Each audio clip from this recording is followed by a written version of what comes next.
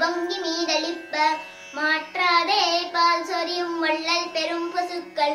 ஆற்ற படைத்தான் மகனே அறிவுராய் ஊற்றமுடையாய் பெரியாய் உலகினில் தோற்றமான் என்ற சுடரே துயிலாய் மாற்றார் உனக்கு வலிதொலைந்துன் வாசற்கண். ஆற்றாது வந்துன் அடிபடியுமா போலே.